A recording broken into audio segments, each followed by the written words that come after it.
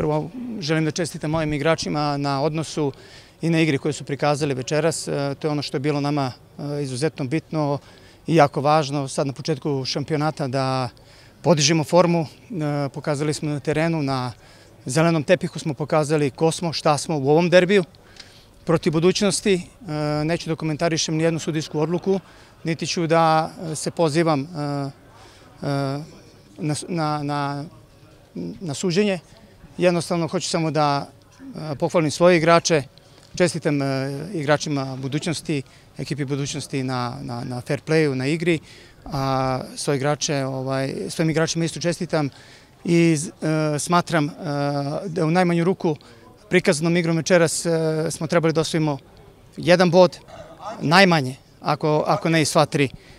U svakom slučaju, ono što je za mene bitno, bitno mi je, bitan je odnos mojih igrača, moje ekipe, kako je izgledala na terenu i šta je prikazala. Imali smo dosta prilika koje nismo realizovali. E, imala je budućnost e, u početku utakmice, ali u svakom slučaju e, ono što smo trebali da dobijemo iz ove utakmice smo dobili osim bodova.